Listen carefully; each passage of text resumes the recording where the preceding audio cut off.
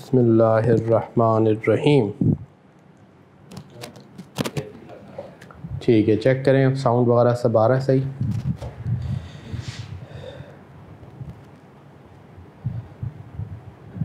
जी दोस्तों, ज़रा मुझे कंफर्म कीजिए, आपको पिक्चर साउंड सब कुछ सही आ रही है?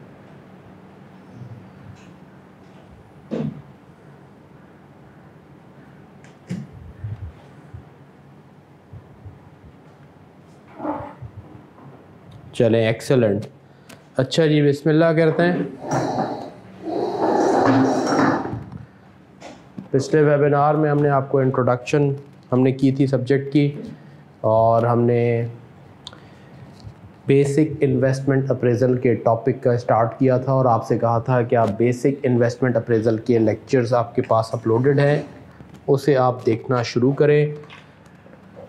बेसिक इन्वेस्टमेंट अप्रेज़ल हमारा एक मेजर टॉपिक एरिया है, जिसको हम डिस्कस कर रहे हैं।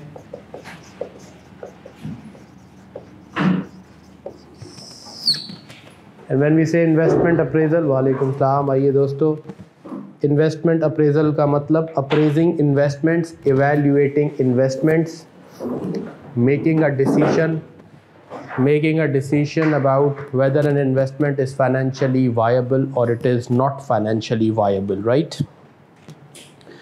हमने ये बात लास्ट वेबिनार में की थी कि यहाँ से हम अपनी डिस्कशन स्टार्ट करेंगे।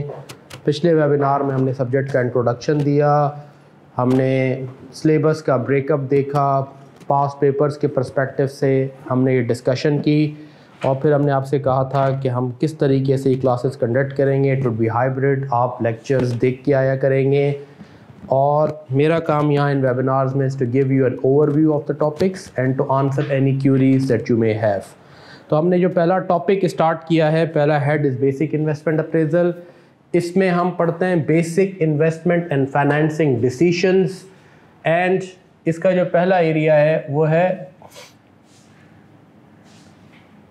tools techniques of investment appraisal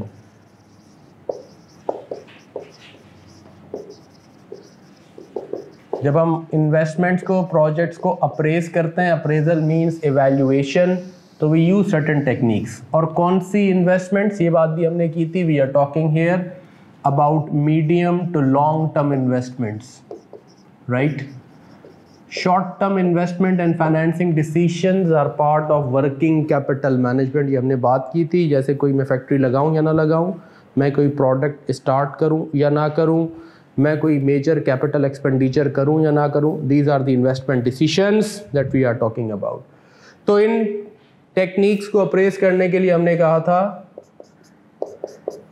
कि हमारे पास तीन मेजर टूल्स या टेक्निक्स हैं। एक को हम कहते हैं अकाउंटिंग रेट ऑफ़ रिटर्न ये मैं रिफ्रेशर करा रहा हूँ, ये तो हम रात, पिछले वेबिनार में बातें कर चुके हैं। अकाउंटिंग रेट ऑफ़ रिटर्न या ROCE return on capital employed technique दूसरी है पे बैक पीरियड और तीसरी है discounted cash flow techniques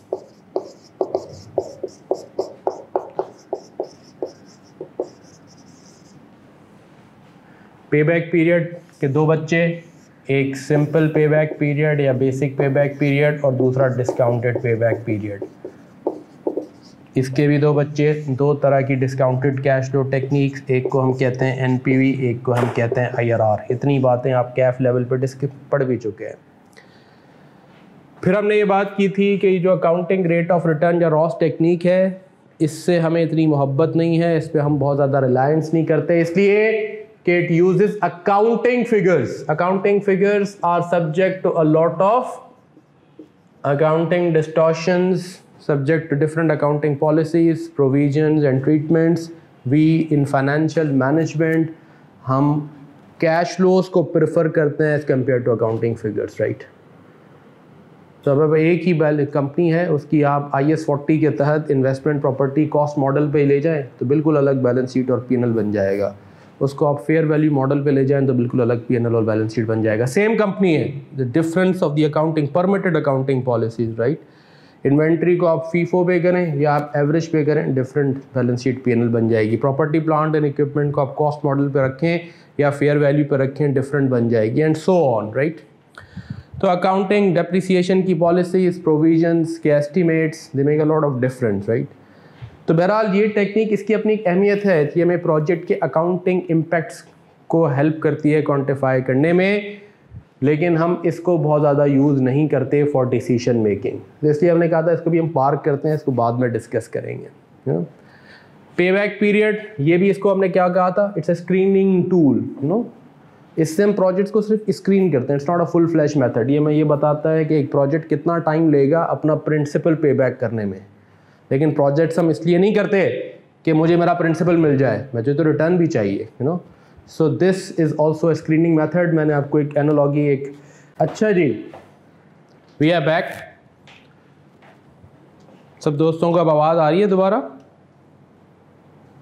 मुझे चैट बॉक्स में कंफर्म करें if everybody can hear me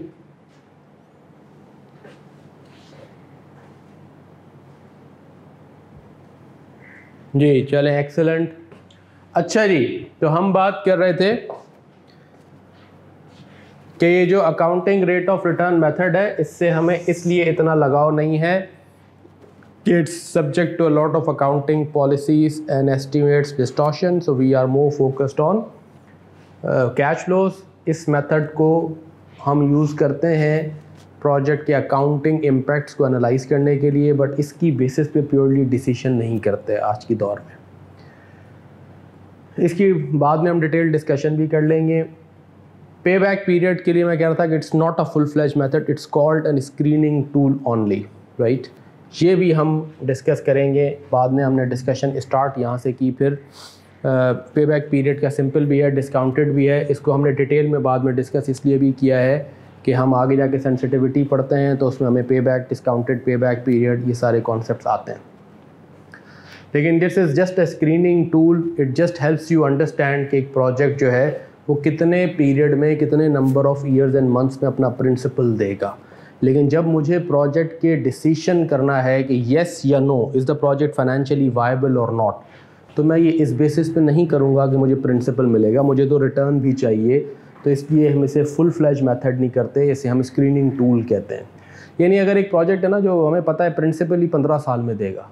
हम कहते हैं, यार इसको साइड में कर दो ना। एक प्रोजेक्ट है जो प्रिंसिपल दो या तीन साल में देगा, दूसरा प्रोजेक्ट है जो तीन चार साल में देगा। अब डिटेल्ड वर्किंग में उन दो पे करूँ राधा देन मैं सारों पे करूँ। तो just use as a screening tool discounted cash flow techniques वो टेक्निक्स हैं जिनकी बेसिस पे एक्चुअली इन्वेस्टमेंट अप्रेजल होता है प्रैक्टिकली राइट right? ये आप कैफ में पढ़ भी चुके हैं N P V and I R R इसका पिछले वेबिनार में मैंने कॉन्सेप्शल रिविजन रिफ्रेशर करवाया। कि एन पी वी का मतलब क्या है? Why is N P V called an immediate increase in investors wealth इसका हमने ज़िक्र किया। क्यों कहते हैं कि एन पॉजिटिव का मतलब ये है कि मुझे मेरा प्रिंसिपल भी मिल गया, मुझे रिक्वायर्ड रिटर्न भी मिल गया, मुझे ओवर एंड अबव सरप्लस मिला है। उस सरप्लस की present value why does it mean like it तो इसको हमने एक छोटे से कॉन्सेप्ट से क्लियर किया था, एक वर्किंग से। और अगर आपने वो पिछला वेबिनार नहीं देखा तो आप देख लीजिएगा। अदरवाइज़ रिकॉर्डेड लेक्चर में भी ये सारी डिस्कशंस मौजूद हैं। रिकॉर्डेड लेक्चर्स आप देखेंगे तो और डिटेल में मिल जाएगा। N P V and I R R ये दो टेक्निक्स हैं, लेकिन दोनों के थ्रू नतीजे एक तक ही पहुँचते हैं। हम ये बात हमने की थी कि आई आर आर का एक प्रोसेस डिफरेंट है एनपीवी का एक प्रोसेस डिफरेंट है ये, लेकिन दोनों ही हमें एक नतीजे पे पहुंचाते हैं। अगर आईआरआर टेक्निक कहेगी प्रोजेक्ट फीजिबल है तो एनपीवी टेक्निक भी कहेगी प्रोजेक्ट फीजिबल है एनपीवी पॉजिटिव आएगी। आईआरआर टेक्निक कहेगी एनपीवी प्रोजेक्ट फीजिबल नहीं है तो एनपीवी टेक्निक भी यही कहेगी प्रोजेक्ट फीजिबल नहीं है एनपीवी नेगेटिव आ जाएगी। दोनों के थ्रू हम नतीजे सेम तक पहुँचते हैं। Is just the process of arriving at the decision is different इसलिए ये दो टेक्निक्स हैं। फिर हमने बात ये भी की थी, ये मैं सारा पिछले वेबिनार का अभी सिर्फ़ रिफ्रेशर करवा रहा हूँ, ये सारी बातें पिछले वेबिनार में हम कर चुके कि एनपीवी और आईआरआर टेक्निक हो। चाहे एनपीवी टेक्निक हो, चाहे आईआरआर हो, इन दोनों तक डिसीशन के लिए हमें दो चीज़ें चाहिए होती हैं। एक, हमें प्रोजेक्ट के cash flows relevant cash flows of course और दूसरा हमें चाहिए होता है रिक्वायर्ड रेट या डिस्काउंट रेट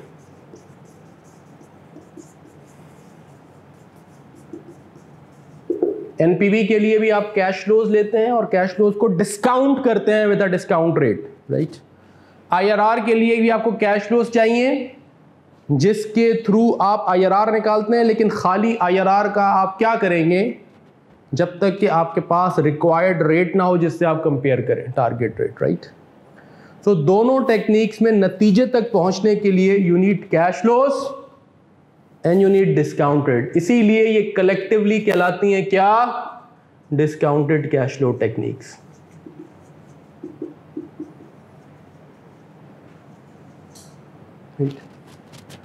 फिर हमने ये बात भी पढ़ी थी कि cash flow determination is part of basic investment appraisal cash flow determination is part of basic investment appraisal discount rate determination is part of हमारा जो दूसरा टॉपिक है which is called advanced investment appraisal वो पूरा घूमता ही इसके गिर्द है।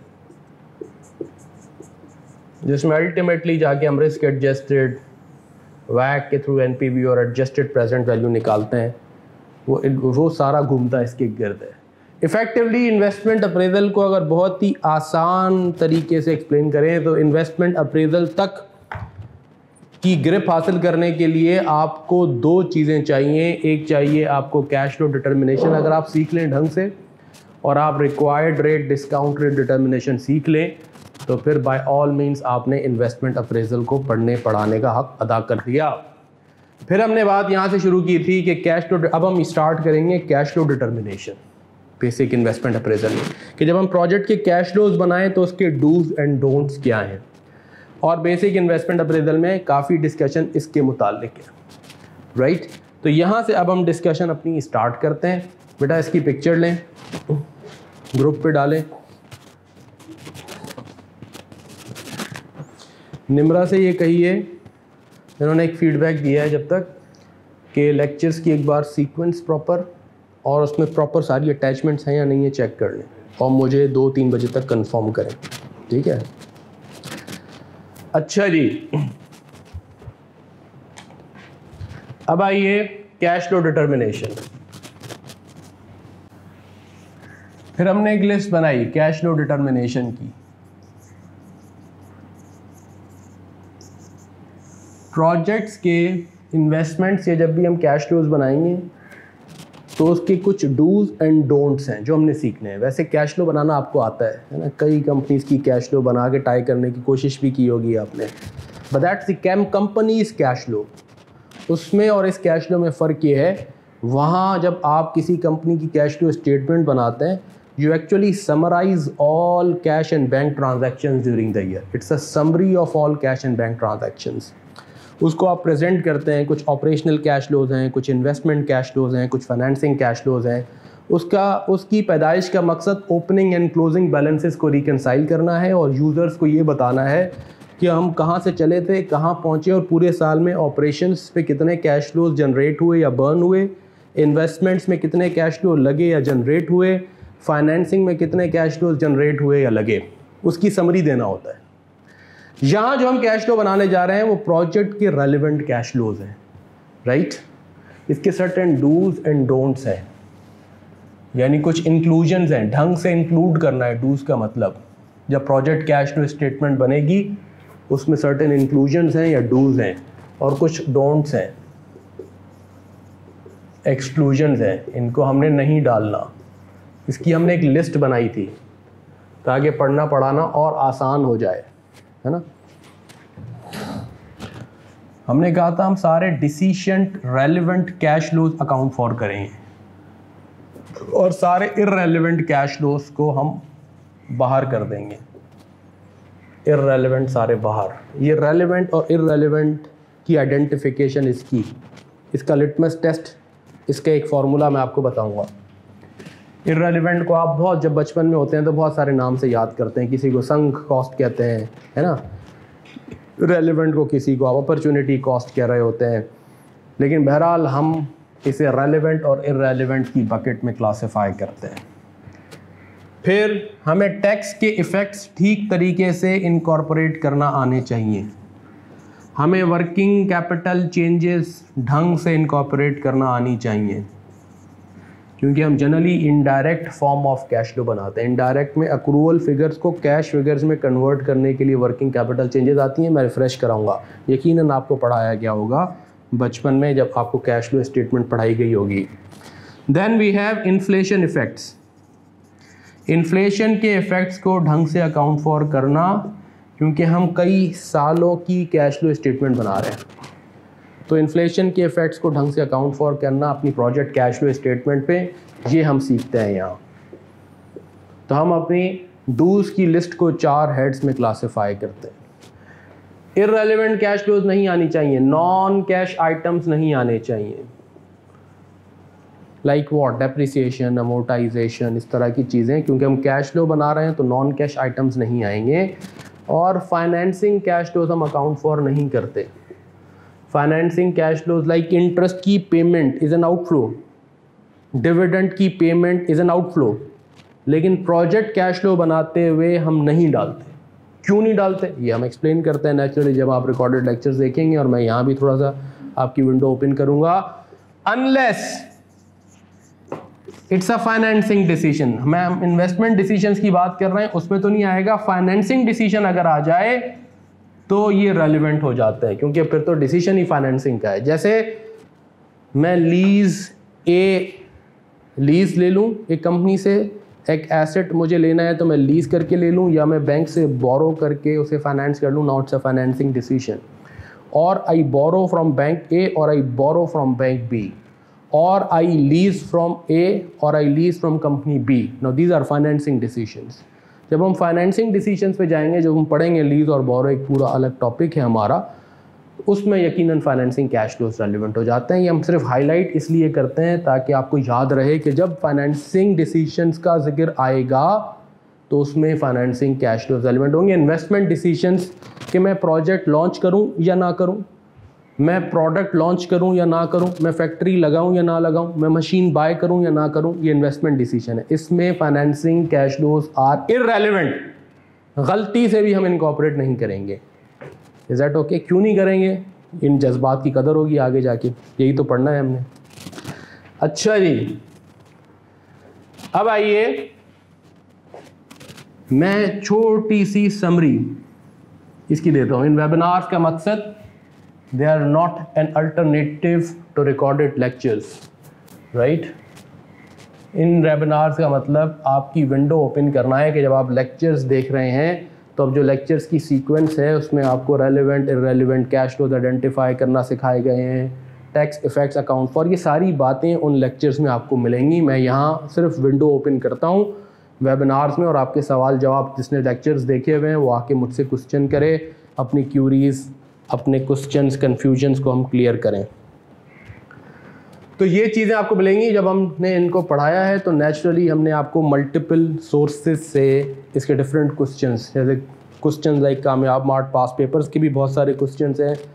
अदर देन पास पेपर्स जो आप फार्मा और उसकी बात कर रहे हैं, सीमा की किट के भी क्वेश्चन हैं ACCA के पास पेपर्स के भी हैं इंग्लिश इंस्टीट्यूट आई के भी हैं चार्ट फॉक्स लिंच के भी हैं टैक्समैन फाइनेंशियल मैनेजमेंट ये जितने भी सोर्सेज हैं, उसमें से जो जो अच्छे क्वेश्चन जिस हर क्वेश्चन में कोई लर्निंग पॉइंट है, वो हमने आपसे प्रैक्टिस करवाया है राइट तो आपने ढंग से लेक्चर्स देखने हैं, उस लेक्चर्स में जितने क्वेश्चन किए गए हैं, वो आपने करने हैं राइट और कैसे करने हैं, ये भी हमने बताया था कि जैसे ही हम कोई क्वेश्चन शुरू करते हैं रिकॉर्डेड लेक्चर में, टक पॉज करेंगे, ख़ुद से सॉल्व करेंगे, फिर ऑन करके कंपेयर करेंगे। The way you would have done it in the classroom जैसे हम क्लासरूम में आप होते तो हम आपसे करवाते हैं कि अच्छा बेटा, ये पहले करें। पंद्रह, बीस मिनट, पच्चीस minute depending on the question आपको टाइम दिया जाता है। आप करते हैं, फिर हम मिलकर सॉल्व करते हैं। Because that's the way you learn unless you do it yourself you won't learn how to do it next time तो अब आइए मैं एक एक करके थोड़ी सी समरी आपको देता हूँ कि रेलिवेंट इरेलीवेंट में क्या क्या बातें की गई हैं। टैक्स इफेक्ट्स में आपको क्या क्या बातें मिलेंगी वर्किंग कैपिटल चेंजेस में क्या क्या मिलेगा इन्फ्लेशन में क्या क्या मिलेगा, ये सारी बातें मैं भी करता हूँ। यहाँ तक कोई सवाल है किसी का तो मुझे बताइए, क्योंकि यहाँ तक हमने पिछले वेबिनार में बात क्लोज़ की थी और मैंने कहा था, अब आप जब लेक्चर जाके देखेंगे तो आपको ये सारी बातें मिलेंगी। अब जो लेक्चर देख के आए हैं, उनके जहन में कोई सवाल है, वो भी करें, फिर मैंने एक्सप्लेन करता हूँ मज़ीद। जो नहीं देख के आए, यहाँ तक कोई सवाल है तो भी पूछें। सर इसमें बैक में सॉरी वो इन्फ्लेशन हम्म। वो ये कि general inflation rate for example question में ये गई कि हमारे नॉर्मल मटेरियल सेल का या कॉस्ट एक सर्टेन परसेंटेज यूज़ है। हम्म। से रिलेटेड सिर्फ़ ये लिखा गया हो कि जी cost of borrowing for example या बैक है उसका ये। जनरल इन्फ्लेशन रेट उसके साथ नहीं दिया गया। हम क्या एज्यूम करेंगे कि आया हम इसको फर्दर नॉमिनल पे ले आए कि नहीं रियल पे ही रहने दें। राइट अगर तो इनका सवाल ये है कि क्वेश्चन में डिफरेंट इन्फ्लेशन रेट्स है। ठीक है? और एक जनरल इन्फ्लेशन भी है।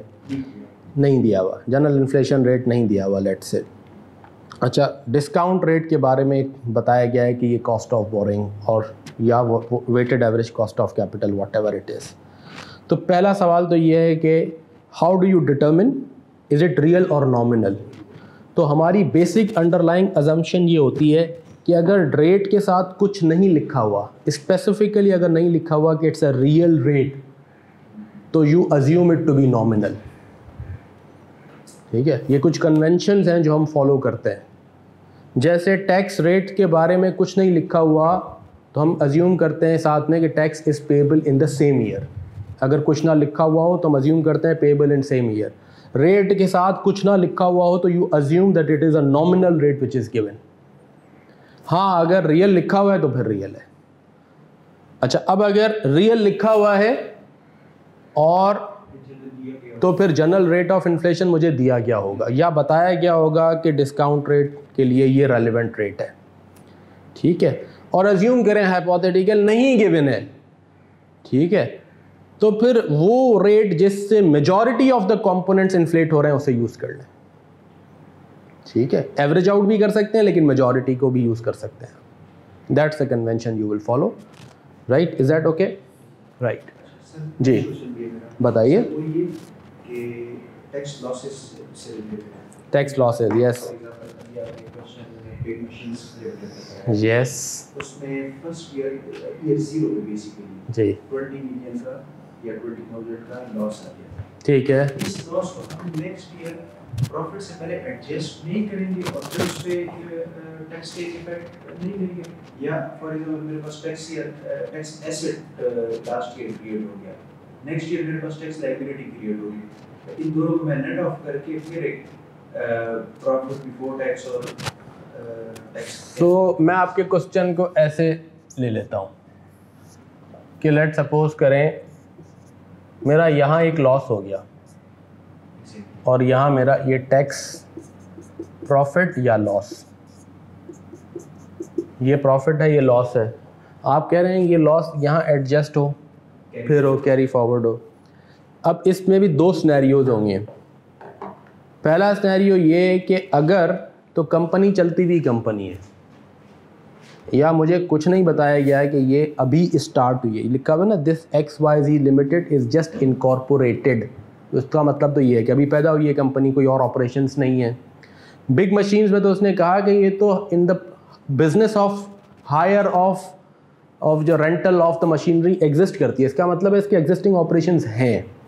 जब एग्जिस्टिंग ऑपरेशन हैं तो मैं अज्यूम करता हूँ कि मेरे पास कोई एग्जिस्टिंग बिज़नेस का भी प्रॉफिट है। और उस प्रॉफिट से ये लॉस एडजस्ट खुद होगा और मुझे इसके अगेंस्ट टैक्स सेविंग जनरेट करके देगा। फिर मैं कैरी फॉरवर्ड करूँगा ही नहीं। तो I am assuming any tax loss in any year in any tax loss बेटा आवाज़ आ रही है सबको? tax loss in any year is going to be adjusted against the profit from the existing operations बेटा ये क्यों स्क्रीन ऊपर नीचे हो गई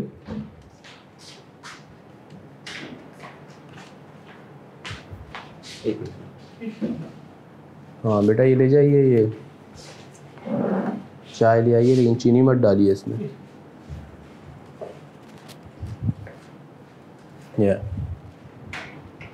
ठीक है So any loss, tax loss, is going to be adjusted against profit from the other operations. And is going to generate tax saving क्या करेगा? अगर ये लॉस है लेट सपोज़ करें 40 मिलियन का लॉस है और ये 100 मिलियन की मेरी एग्जिस्टिंग कहीं प्रॉफिट है तो इसको ये 60 मिलियन कर देगा ना? तो वैसे मेरे 100 मिलियन पे टैक्स लगता आप कितने पे टैक्स लगेगा? 60 पे लगेगा। 40 इससे नेट ऑफ़ हो जाएगा ना? तो क्या करेगा? मेरी टैक्सेशन को कम कर देगा ना टैक्स सेविंग जनरेट करेगा। तो मैं इसको कैरी फॉरवर्ड नहीं करूँगा। मैं एज्यूम करूँगा loss in a year is going to be adjusted against profit from other operation या existing operation and is going to generate saving here हाँ अब अगर ये क्वेश्चन कहता है जैसे कामयाब मार्ट है उसमें कहा मार्ट तो पैदा ही अभी हुआ। मार्ट तो एक इंडिपेंडेंट एंटिटी है। उसमें हमने ये किया है कि अब इसके लिए हम अज्यूम नहीं कर सकते कि कोई और ऑपरेशन है क्योंकि वो एक स्टैंड अलोन इंडिपेंडेंट एक एंटिटी है जो अभी पैदा हुई है। तो फिर उसमें हम इसको कैरी फॉरवर्ड करेंगे। पहले लॉस एडजस्ट होगा। फिर लगेगा प्रॉफिट ठीक है? सो ये क्वेश्चन के स्नैरियो पे। स्टैंडर्ड अजम्पशन क्या है? कि अगर कुछ नहीं कह रहा एग्जिस्टिंग ऑपरेशन हैं क्योंकि it's not a tax paper बैठ के आप कैरी फॉरवर्ड ऑफ़ लॉसेज और मिनिमम टैक्स और एडवांस टैक्स ये सारे करें उसके लिए सौ मार्क्स अलग हैं ठीक है?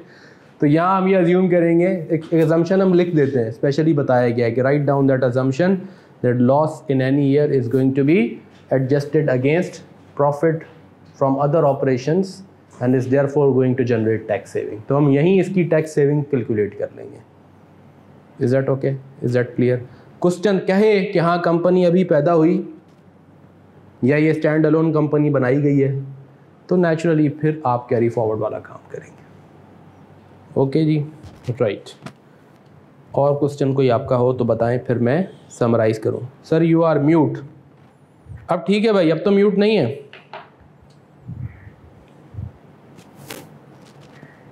प्लीज़ एक्सप्लेन इट अगेन मैं दोबारा एक्सप्लेन कर देता हूँ माय फ्रेंड इनका एक सवाल था कि किसी साल, ये लेक्चर देख के आए हैं which is very very positive thing which is very encouraging for me मेरा खून डबल हो गया। ये कह रहे हैं कि सर यहाँ किसी साल टैक्स का लॉस आया। तो आप उठा के इसे अगले साल कैरी फॉरवर्ड क्यों नहीं करते? प्रॉफिट से एडजस्ट क्यों नहीं करते? इसी साल इसकी सेविंग क्यों ले लेते हैं? तो मैंने उन्हें कहा कि ये क्वेश्चन पे डिपेंड करेगा।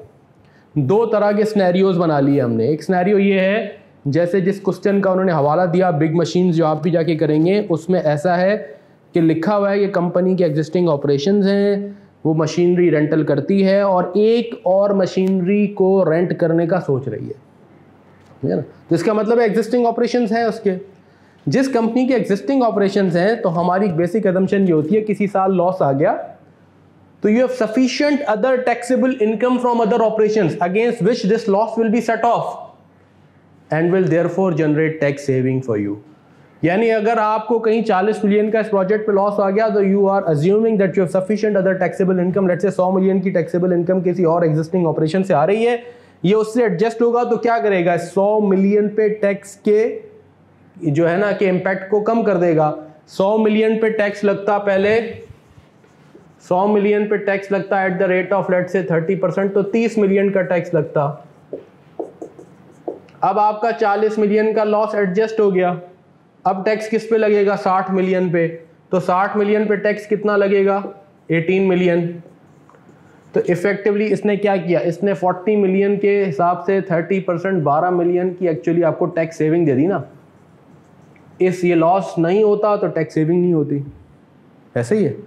तो हम इस लॉस की इस टैक्स सेविंग को उठा के अकाउंट फॉर करेंगे यहाँ इसी साल। ही assuming you have sufficient other background assumption ये लिख लेंगे कि you are assuming the company has sufficient other taxable income against which the loss will be set off and will generate tax saving ये एक स्नैरी हो गया when you have existing operations already company run कर रही है। कहीं question में ये स्पेशली लिखा गया हो, ऐसे भी एक का दिक्का दुक्का। जनरली अजम्पशन यही होती है। एक का दुक्का क्वेश्चन में उसने कहा कि the company has been incorporated it has just started its operations इसका मतलब क्या है कि अब कोई और ऑपरेशंस नहीं है है ना? तो ये ये एक कामयाब मार्ट का क्वेश्चन है, जो मैंने एग्ज़ाम्पल दी आपके पास, जो हैंड आउट्स आपके पास हैं, उसी से मैं रिलेट भी कर रहा हूँ। उसमें वो एक स्टैंड अलोन एंटिटी है, जो अभी ऑपरेट हुई है, उसकी कोई और अदर ऑपरेशन नहीं है। उसमें क्या करेंगे? उसमें इस चालीस मिलियन को फिर अगले साल जो प्रॉफिट आ रहा है, क्या करेंगे? लॉस को कैरी फॉरवर्ड करेंगे। फिर यहाँ लेट से इनकम आ गई सत्तर मिलियन तो आप पहले चालीस को इससे नेट ऑफ़ करेंगे और फिर तीस मिलियन पे फिर आप यहाँ टैक्स लगाएँगे। फिर कैरी फॉरवर्ड वगैरह की कहानी होगी। Is that okay Nasir is that okay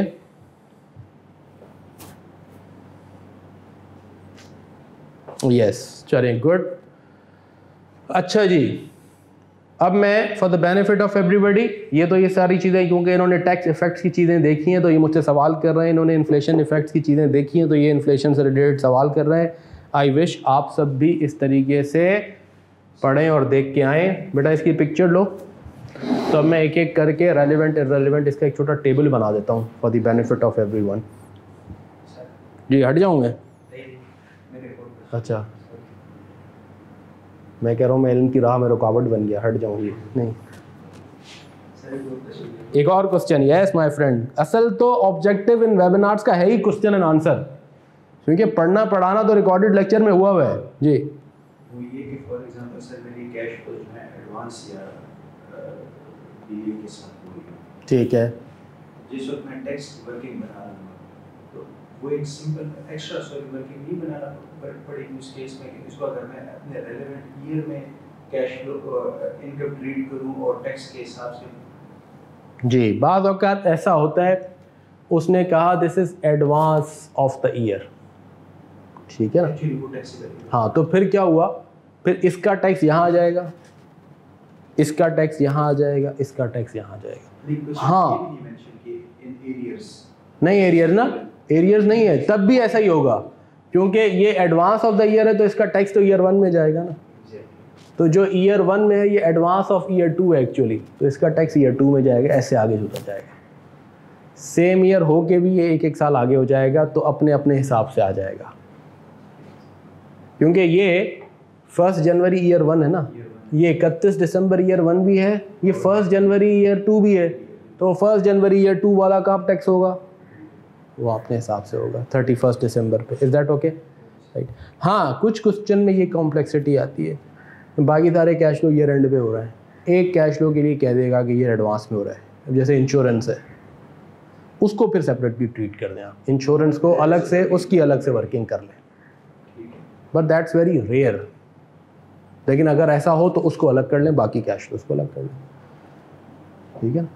उसको भी वैसे कैश फ्लो के लिए कर रहे हैं और उसकी टैक्सेशन अलग से अकाउंट फॉर कर लें। जो तो से।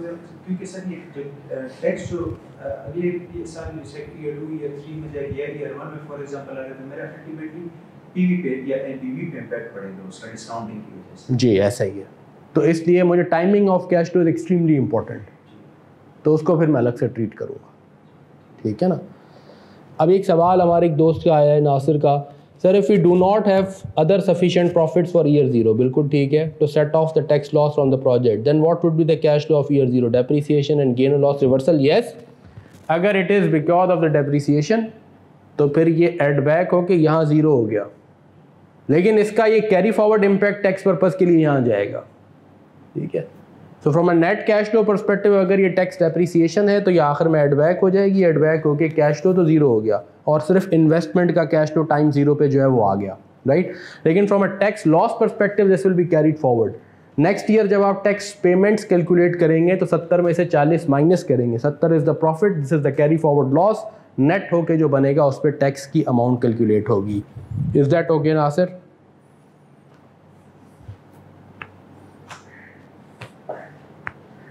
understood thank you अच्छा जी।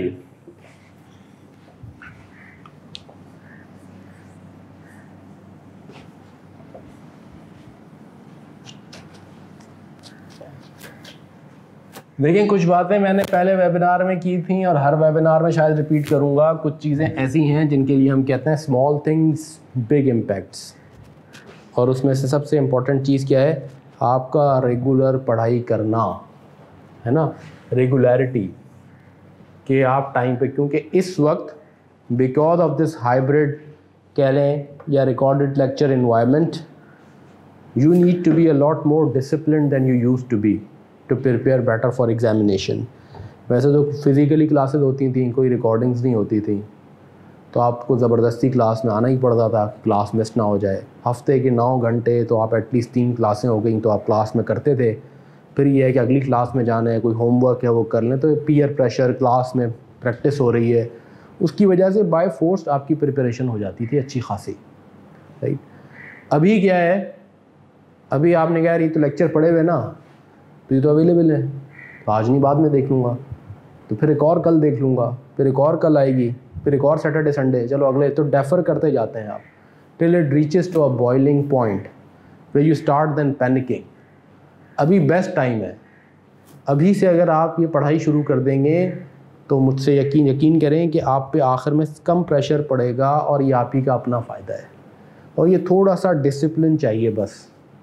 इसमें कोई रॉकेट साइंस नहीं है। सेल्फ डिसिप्लिन इतना टाइम आप अपने शेड्यूल से बाय ऑल मींस निकाल ही सकते हैं कि आप एक घंटा, डेढ़ घंटा जो है ना वो लेक्चर देखें ज़रूर डेली अभी ईद की छुट्टियाँ आ रही हैं ना मीन बहुत सारा टाइम हमारा वेस्ट हम कर सकते हैं कि भाई मिलने मिलाने में। दूसरा ये है या मिलने मिलाने के साथ आप कहें यार, मैं तीन चार घंटे ज़रूर मैंने पढ़ना है। तो वो टाइम निकल आएगा अगर आप डिसिप्लिन कर लें। दिन में चौबीस घंटे होते हैं। है ना, पहला दिन चलें, आपने कुर्बानी और उसमें कर दिया। दूसरा दिन है, तीसरा दिन है, चौथा दिन है संडे तक। तो अगर आपने ये लेक्चर्स अभी तक नहीं देखे मेक इट अ पॉइंट कि आप you will catch up during the Eid holidays अच्छा जी, अब आइए, मैं पहली बात स्टार्ट करता हूँ रेलेवेंट और इरेलीवेंट इसमें हमने क्या पढ़ना है?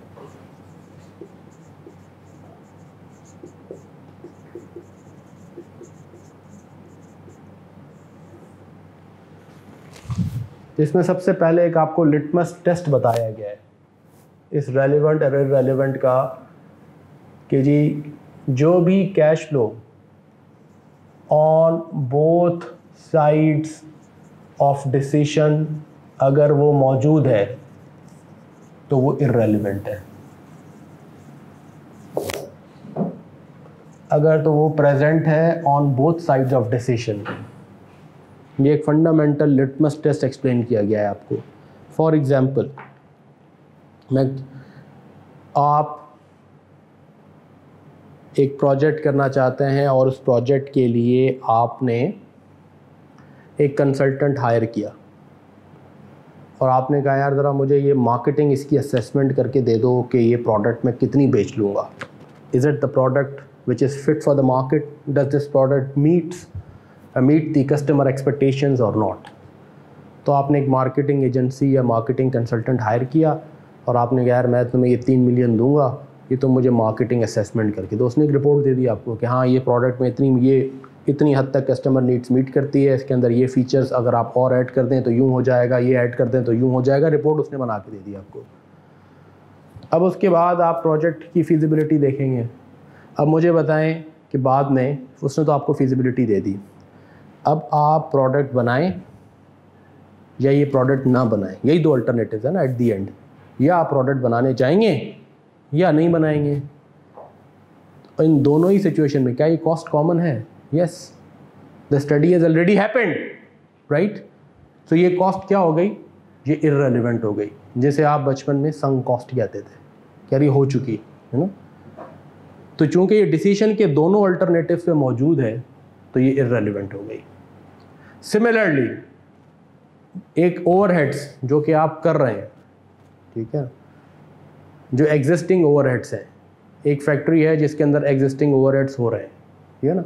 जैसे ये प्रेमिसेस है, इन प्रेमिसेस में सपोज़ करें कि दो कोर्सेज होते हैं तीसरा कोर्स ऐड हो जाए अगर तो क्या प्रेमिसेस की रेंटल कॉस्ट रेलिवेंट है? No because that's already happening you are already doing two courses you add another course that's fine right हाँ वॉट इज़ रेलिवेंट इज़ कि अगर तीसरा कोर्स होगा तो उसकी कोई फैकल्टी अगर ऐड हो रही है तो ये I mean that's incremental cost no so the litmus test is if a cash flow is common on अच्छा वो प्रोग्राम करूँगा तो फैकल्टी आएगी प्रोग्राम नहीं करूँगा तो फैकल्टी नहीं आएगी रेलिवेंट हो गया.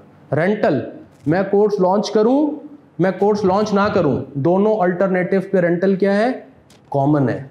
तो जहाँ आप फंस जाएँ, वहाँ आप ये लिटमस टेस्ट अप्लाई कर लें एसिड टेस्ट अप्लाई कर लें कि क्या ये कैश फ्लो डिसीज़न के दोनों अल्टरनेटिव पे है कॉमन अगर दोनों अल्टरनेटिव पे कॉमन है बोथ साइड्स ऑफ़ डिसीज़न पे मौजूद है तो वो इरेलीवेंट है, उसे आप इग्नोर कर देंगे। ये तो एक फंडामेंटल बात एक्सप्लेन की गई है।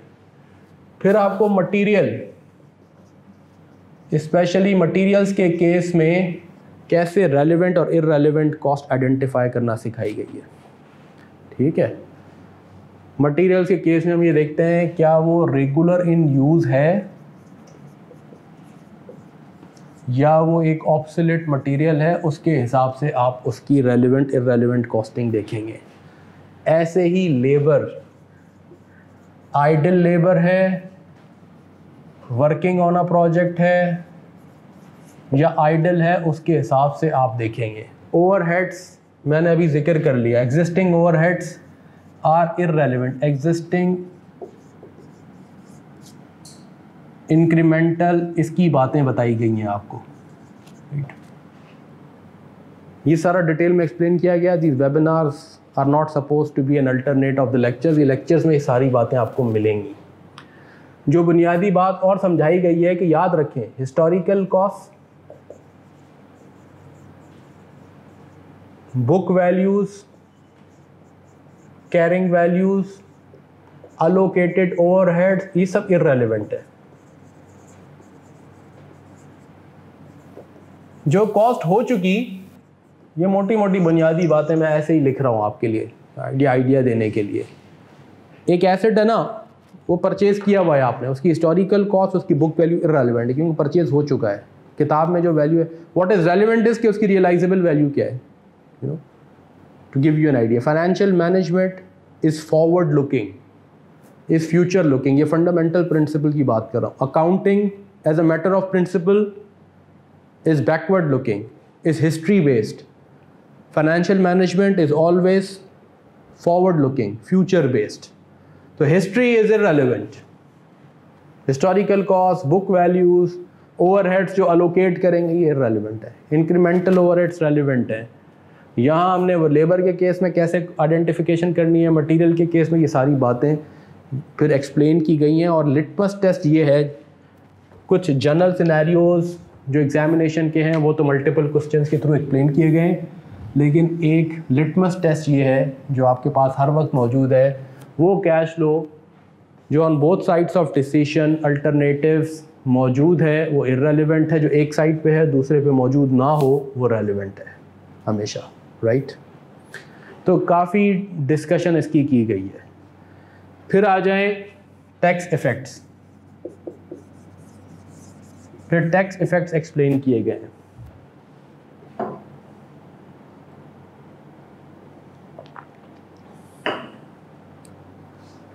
इसमें टैक्स डेप्रीसिएशन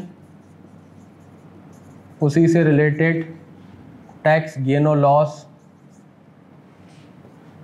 ऑन डिस्पोजल इसको अकाउंट फॉर करना, ये बताया गया है। ठीक है? Specially W D V case straight line case इसमें कैसे आप डब्ल्यू डी वी के केस में शॉर्टकट वर्किंग कैसे करेंगे? जब भी टैक्स की बात होगी तो टैक्स से रिलेटेड दो चीज़ें इंपॉर्टेंट हैं।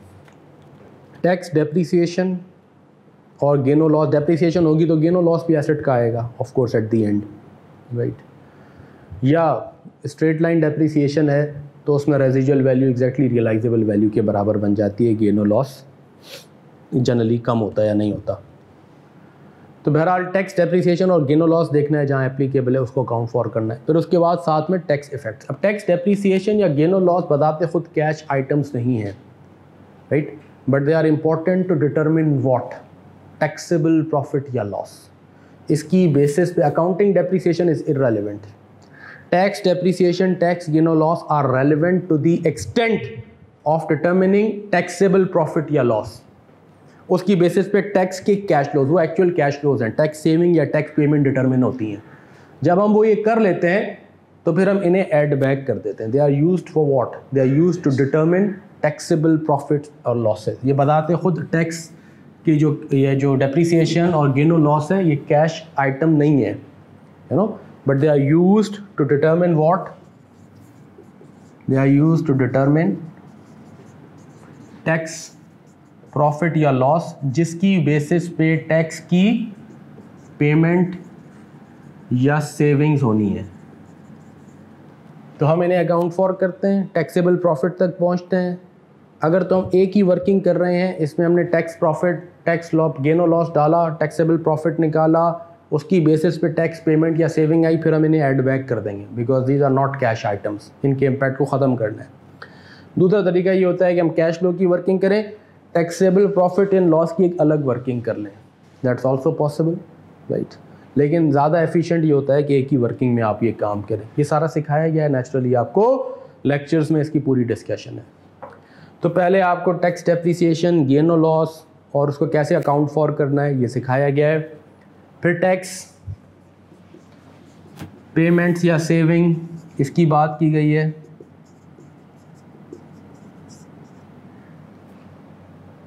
कि इसके भी दो तीन तरीके हैं। Tax payable in same year होगा तो सेम ईयर में डालेंगे। टैक्स पेबल इन एरियर्स यानी नेक्स्ट ईयर होगा तो कैसे अकाउंट फॉर करेंगे, ये सारी बात भी बताई गई है। फिर टैक्स लॉस के केस में क्या सिचुएशन होगी? अगर टैक्स लॉस आ जाए टैक्स प्रॉफिट आ जाए तो क्या होगा? टैक्स लॉस आ जाए तो क्या होगा? जिसका ये सवाल मुझसे पूछ रहे थे। ठीक है ना? कि टैक्स लॉस के केस में कब हम अज्यूम करेंगे कि we have taxable profits other taxable profits available जिसके अगेंस्ट ये लॉस एडजस्ट होगा सफिशेंट अदर टैक्सेबल प्रॉफिट्स या हम कैरी फॉरवर्ड करेंगे उसकी कहानी टैक्स लॉस की केस में ये भी हमने बताई गई है। लें वो भी ठीक है। तो डेप्रीसिएशन अलग से कैलकुलेट करें। कैलकुलेट करें उसके बाद उसकी उसकी सेविंग अलग से फाइंड आउट करें। टैक्स डेप्रीसिएशन टैक्स या नो लॉस की और फिर उसे अकाउंट फॉर करें। फिर आपको ऐड लेस नहीं करना पड़ेगा। ये आप अलग से भी कर सकते हैं। फिर आपको प्रॉफिट्स की टैक्सेशन अलग कैलकुलेट करनी पड़ेगी। डेप्रिसिएशन गेन लॉस का टैक्स बेनिफिट अलग अकाउंट फॉर करना पड़ेगा। ये भी कर सकते हैं आप। बिल्कुल, ऐसा भी कर सकते हैं। तो टैक्स की सारी, फिर हमने ये भी बताया, कोई मिसिंग इन्फॉर्मेशन हो तो क्या करेंगे? बाद अवकात वो डेप्रिसिएशन की तो बता देता है बात, लेकिन टैक्सेबल प्रॉफिट्स पे क्या रेट लगेगा वो नहीं बताता। वो आप अज्यूम करेंगे। बाद अवकात उसने कॉर्पोरेट टैक्स रेट गिवन है डेप्रिसिएशन की बात नहीं की। तो बाय ऑल मीन्स आप डेप्रिसिएशन का एक सर्टन रेट अज्यूम कर लेंगे। अगर लॉ का टैक्स रेट याद है वो करने नहीं याद तो भी कोई ये टैक्स का पेपर नहीं है।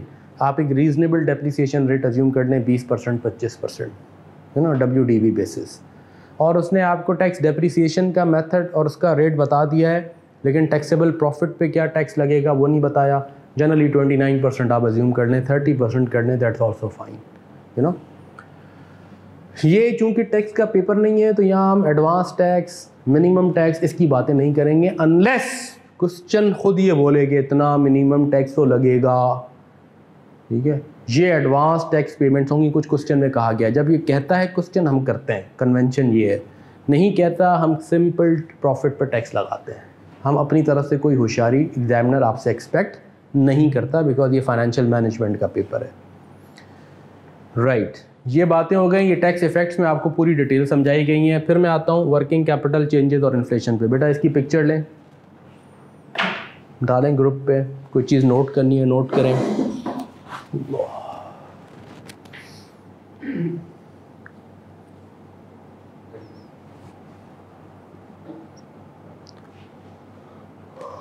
अकाउंटिंग डेप्रिसिएशन अकाउंटिंग गेन और लॉस ये इरेलीवेंट है। अब आए वर्किंग कैपिटल चेंजेस ये क्या बला है? ये क्यों आती है भाई? ये सारी बात हमने की है समझाइए आपको लेक्चर्स में। Working capital changes are neither cash inflows additional nor outflows they are only called timing adjustments and I am just refreshing I am sure जब आपको कैश फ्लो स्टेटमेंट पढ़ाना सिखाई गई होगी तो उस वक्त आपको ये बात बताई गई होगी। कैश फ्लोज आप दो तरीक़ों से मनाते हैं ना। एक है direct form of cash flow और है कि इनडायरेक्ट डायरेक्ट में आप क्या करते हैं? सीधा सीधा कैश फ्लो इम्पैक्ट देते हैं। रिसीट फ्रॉम कस्टमर्स लेंगे कैश फ्रॉम सेल्स जिसे आप कहें। कैश पेड टू सप्लायर्स यानी पेमेंट्स और परचेजेस राइट आप स्ट्रेट कैश लेते हैं। डायरेक्ट कि कितना मुझे कैश फला से मिला एक्टिविटी से इतनी मैंने कैश की पेमेंट की ऑन दैट एक्टिविटी तो ये कहलाती है डायरेक्ट फॉर्म ऑफ़ कैश तो डायरेक्ट कैश की बात कर रहे हैं आप। इनडायरेक्ट कैश फ्लो स्टेटमेंट वो होती है जिसमें आप इनडायरेक्टली कैश पे पहुँचते हैं, इसीलिए उसका नाम इनडायरेक्ट है। आप अक्रूवल फिगर से चलते हैं।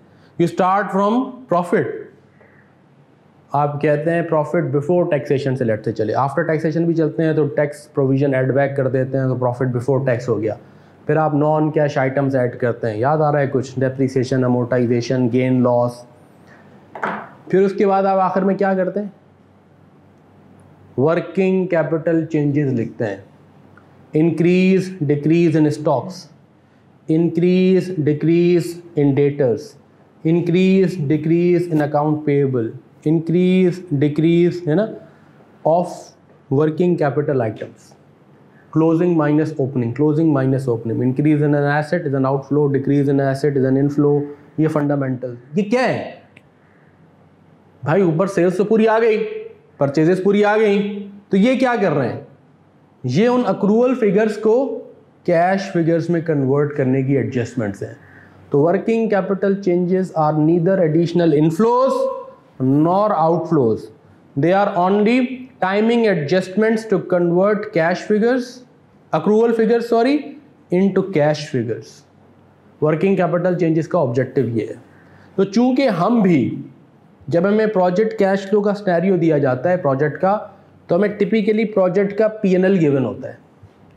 तो जब उसने हमें प्रोजेक्ट का पीएनएल दिया गया हमें सेल्स दी हमें रिसीट कैश फ्रॉम सेल्स नहीं दिया उसने उसने सेल्स दे दी। उसने कॉस्ट ऑफ़ सेल्स के आइटम देती है मटेरियल कॉस्ट लेबर कॉस्ट तो हम कहाँ पहुँचेंगे? हम अकाउंटिंग पीएनएल पे पहुँचेंगे। तो अकाउंटिंग फिगर को हमें अल्टीमेटली क्या चाहिए? प्रोजेक्ट के नेट कैश फ्लोस तो जब हमें अक्रूवल फिगर्स को कैश फिगर्स में कन्वर्ट करना है तो हमें वर्किंग कैपिटल चेंजेस इनकॉपरेट करनी है। तो इसलिए क्योंकि हमारी भी project cash flow statement indirect form of cash flow follow करती है तो इसलिए हमें वर्किंग कैपिटल चेंजेस इनकॉपरेट करनी पड़ती हैं।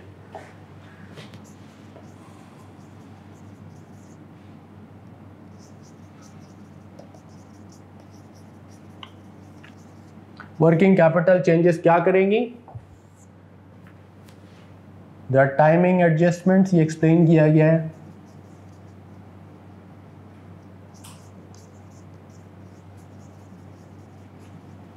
टू कन्वर्ट अक्रूवल फिगर्स ये पुराना कॉन्सेप्ट आपको रिवाइज कराया गया है, क्योंकि हम बहुत सीधे साधे लोग हैं, कोई बात दिल में नहीं रखते, सब भूल जाते हैं। तो हम कैफ की चीज़ें वैसे ही भूल गए होंगे। To convert accrual figures into cash figures इसीलिए हमारा एक टेस्ट ये होता है कि सारी वर्किंग कैपिटल चेंजेस का मैं हॉरिजॉन्टल सम करूँ, वो ज़ीरो होना चाहिए। तो कहीं वर्किंग कैपिटल में इन्वेस्टमेंट होगी तो कहीं रिकवरी होगी। किसी भी कंपनी की पैदाइश से लेके मौत तक की सारी वर्किंग कैपिटल चेंजेस यानी इनकॉपरेशन से लिक्विडेशन या वाइंडिंग अप तक की सारी वर्किंग कैपिटल चेंजेस को आप प्लस माइनस करेंगे तो ज़ीरो हो जाएगा। कंपनी में ये हमें, और अगर नहीं हुआ तो इसका मतलब है कोई अकाउंटिंग इशू है। और ये हमें कंपनी के केस में रेयरली इसलिए नज़र आता है कि company is a perpetual succession साल बाय साल चलता गया चलता गया चलता गया। लेकिन कभी भी आप किसी कंपनी की लाइफ साइकिल के जब भी आप, जब से वो पैदा हुई टिल जब उसकी लिक्विडेशन हुई, आप सारी वर्किंग कैपिटल चेंजेस को ऐड करेंगे तो वो ज़ीरो होना चाहिए। प्रोजेक्ट के केस में बड़े आराम से नज़र आ जाता है। प्रोजेक्ट की लाइफ पाँच साल है, सात साल है, चार साल है। तो जब हम ज़ीरो से लेके एंड तक की सारी वर्किंग कैपिटल चेंजेस ऐड करें, वो ज़ीरो होना चाहिए। ये बात, क्योंकि ये सिर्फ़ टाइमिंग एडजस्टमेंट्स हैं। They are neither additional inflows nor additional outflows only timing adjustments फिर हमने ये भी आपको समझाया है कि जी, ये इंक्रीमेंटल वर्किंग कैपिटल की हम बात कर रहे हैं।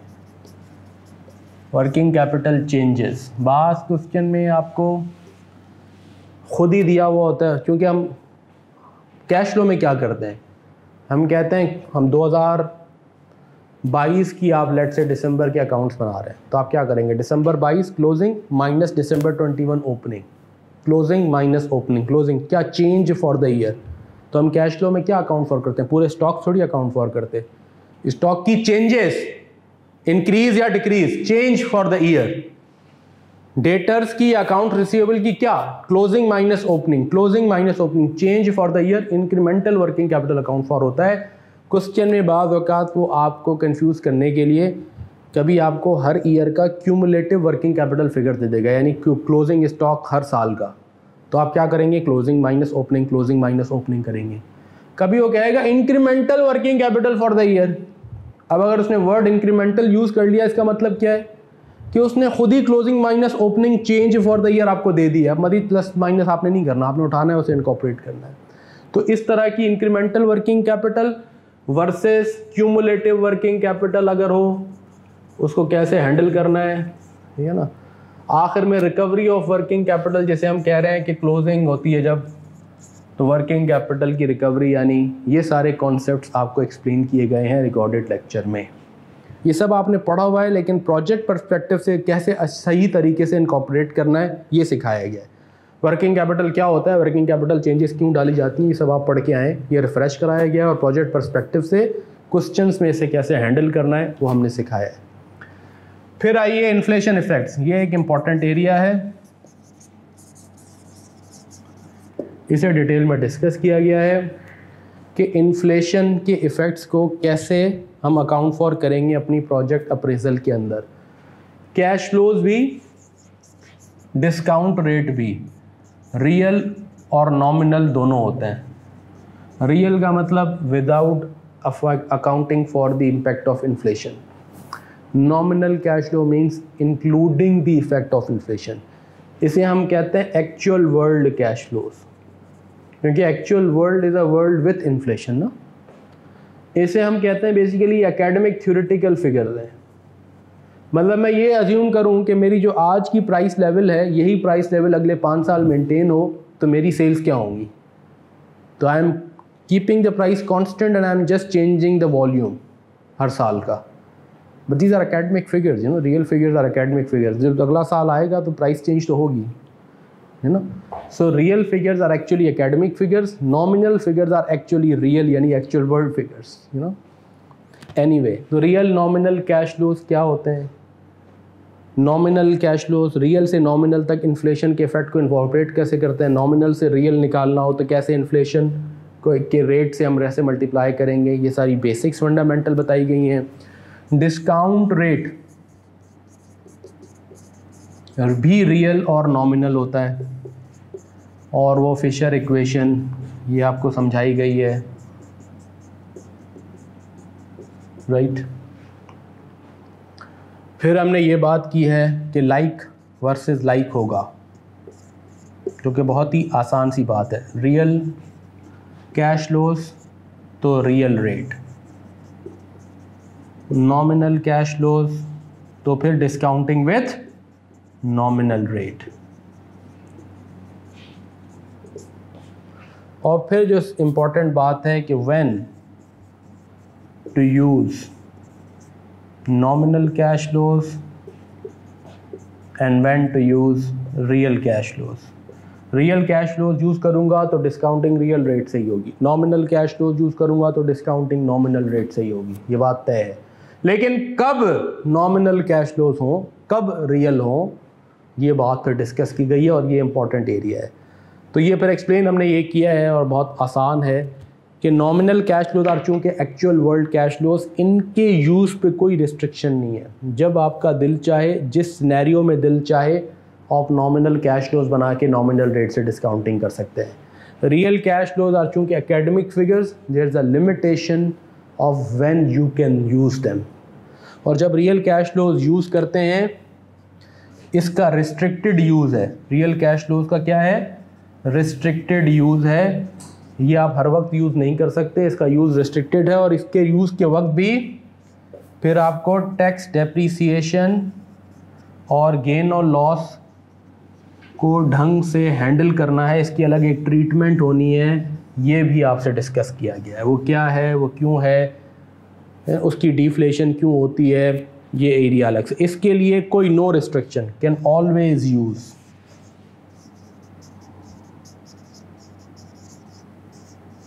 इसकी कोई रिस्ट्रिक्शन नहीं है। इसका यूज़ बड़ा रिस्ट्रिक्टेड स्नैरियो में है। और वो रिस्ट्रिक्टेड स्नैरियो ये है कि जब सिर्फ़ एक रेट ऑफ़ इन्फ्लेशन हो बस जनरल अगर डिफरेंट इन्फ्लेशन रेट्स आ गए, आपके पास ऑप्शन ख़त्म हो गया रियल कैश फ्लोज बनाने का। आपको बहरहाल नॉमिनल कैश फ्लोज ही बनाने हैं। इसके अलावा आपके पास कोई ऑप्शन ही नहीं है।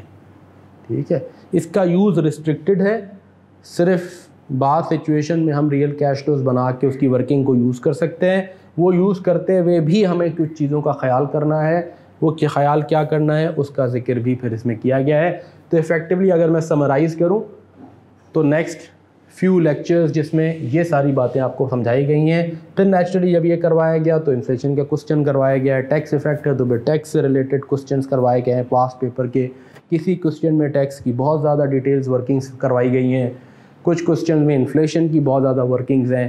फिर आपको डिफरेंट सोर्सेज की प्रैक्टिस क्वेश्चंस भी करवाए गए हैं और अपने पास पेपर्स के क्वेश्चंस भी करवाए गए हैं। इन सारी चीज़ों को अगर आप ढंग से कर लें तो इफ़ेक्टिवली बेसिक इन्वेस्टमेंट अप्रेजल का कॉम्प्लेक्स क्वेश्चन करने के आप काबिल हो जाते हैं। कॉपी करें बेटा, इसकी तस्वीर लें और फिर हम आगे बढ़ते हैं। ये वो लेक्चर्स थे जो आपसे कहा गया था कि आप देख के आइएगा और यहाँ तक देखने के बाद आके मुझसे डिस्कस कीजिएगा। तो मैंने ये रिफ़्रेश करा दिए। आपके अब और भी कोई क्वेश्चन हैं, कुछ आपने पूछ लिए, कुछ आपके जहन में हैं तो मुझसे डिस्कस करें। इसके बाद मैं अब ये डिस्कस करूँगा, ये तो मैं अज्यूम कर रहा था कि आप ये लास्ट क्लास का या वेबिनार का होमवर्क था। अब नेक्स्ट वीक के लिए आपने कौन से लेक्चर्स देख के आने हैं? मैं उसका ओवरव्यू दूँगा आपको कि उन लेक्चर्स में क्या है। ऐसे ही आप नेक्स्ट वीक नेक्स्ट वीक बल्कि दो वीक्स होंगे। ईद संडे को भी हम क्लास नहीं करेंगे, ईद का छुट्टियाँ होंगी। हो सकता है वेबिनार कर लें, हो सकता है ना करें, फिर लेकिन मैं आपको वो दो अगले वीक्स में आपने क्या लेक्चर्स देखने हैं, उनमें क्या क्या चीज़ें हैं वो डिस्कस कर लेता हूँ, वो लेक्चर्स आज अपलोड भी हो जाएँगे एंड देन आई एज्यूम कि वो आप देख के आएँगे जब भी नेक्स्ट क्लास होगी। कंजर्वेटिव डिस्काउंटिंग क्या का मतलब है? ये मैंने बिल्कुल शुरू के लेक्चर में एक फ्रेज़ यूज़ की है कंजर्वेटिव डिस्काउंटिंग कंजर्वेटिव डिस्काउंटिंग क्या है? ये कर लिया हमने बेटा, ये तस्वीर भेज दी, सही पिक्चर ढंग वाली। Good quality quality. D S L R. अच्छा दिखा दो हाँ ठीक है गुड। अल्लाह अकबर। अच्छा मैं ये मिटा के कंजर्वेटिव डिस्काउंटिंग वैसे खैर ये वेबिनार की रिकॉर्डिंग भी मिल जाएगी आपको। In any case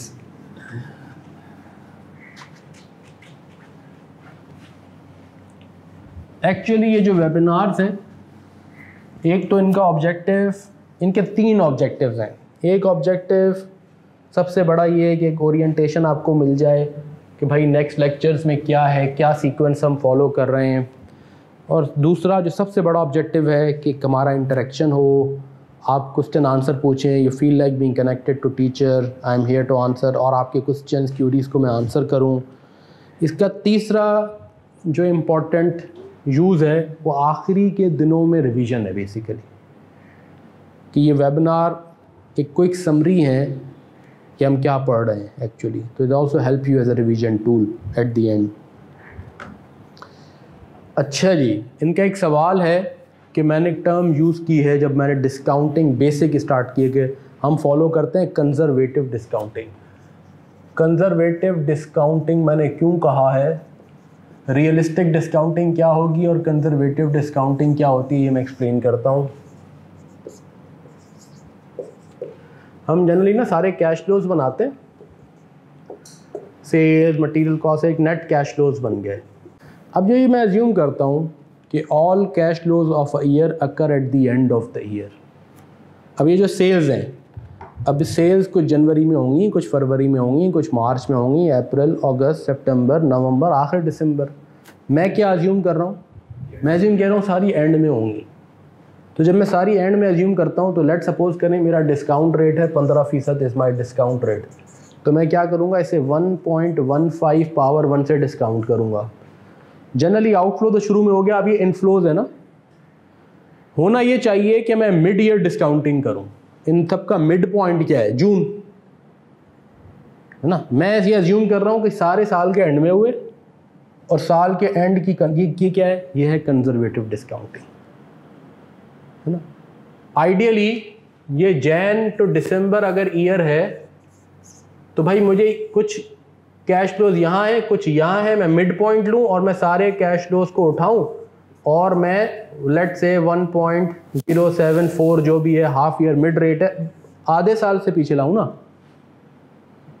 That's a more realistic discounting but क्योंकि हमारे ये सब एस्टिमेट्स हैं तो हमें बिल्ट इन कंजर्वेटिज्म कर लेते हैं। अकाउंटिंग तो बहुत ज़्यादा कंजर्वेटिव है फाइनेंशियल मैनेजमेंट भी थोड़ी बहुत कंजर्वेटिज्म के प्रिंसिपल को फॉलो करती है। दैट्स वॉट इट मीन्स क्योंकि मैं पूरे साल के डिस्काउंट रेट से करूँगा तो नेट प्रेजेंट वैल्यू थोड़ी कमी आएगी ना कैश इनफ्लो की। तो थोड़ा सा कंजर्वेटिव हो गया मैं, यूँ कह लें आप। जैसे अकाउंटिंग में क्या है, आप कहते हैं ना लाइबिलिटी प्रोबेबिलिटी हो जाए तो रिकॉर्ड कर दो। एसिड के लिए वर्ड यूज़ होता है virtually certain probable assets record नहीं होते वर्चुअली सर्टेन ये कंजर्वेटिज्म है ना, कि लाइबिलिटी आउटफ्लो को लाइबिलिटी को पहले अकाउंट फॉर कर लो एसेट जब तक 100 परसेंट सर्टन ना हो जाओ वर्चुअली सर्टन ना हो जाओ, तब तक ना करो। यू नो तो this is exactly what we are doing मैंने आउटफ्लो तो फ़ौरन कर दिया रिकॉर्ड ठीक है? इनफ्लो के लिए मैं क्या कह रहा हूँ कि जब मैं पूरी साल की डिस्काउंटिंग करूँगा तो प्रेजेंट वैल्यू थोड़ी कम आएगी तो मेरी एक कंजर्वेटिज्म इसमें बिल्ट हो गया।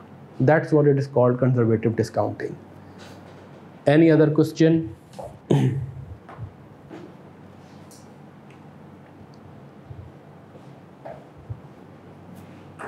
is this clear to everybody जो ऑनलाइन भी हैं दोस्त।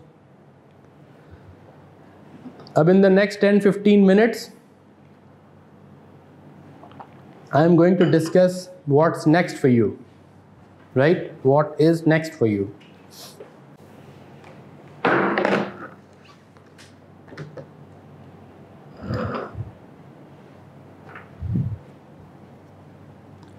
अब ये डिस्कस करने के बाद, इसमें एक, इसी के दौरान कुछ मैथमेटिकल टेक्निक्स आपको समझाई गई हैं इन सारे उसके अंदर। इन्हीं लेक्चर्स में भी हैं और आगे भी आपको अर्थमेटिक जो अर्थमेटिक टेक्निक्स बेसिक्स हैं आपकी। एन्यूटी डिस्काउंटिंग परपैचुटी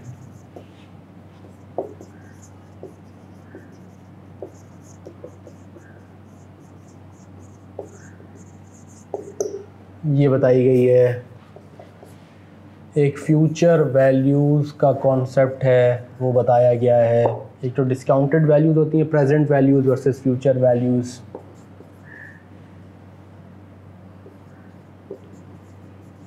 future value ये है कि आप डिस्काउंट रेट से आगे ले जाएँ, डिस्काउंटिंग में आप पीछे लाते हैं you know future value annuity formula वगैरह ये बातें हैं। फिर सेंसिटिविटी ये तो बेसिक अर्थमेटिक की चीज़ें हैं। फिर जो मेजर टॉपिक है, अब उसके बाद आपका वो है सेंसिटिविटी एनालिसिस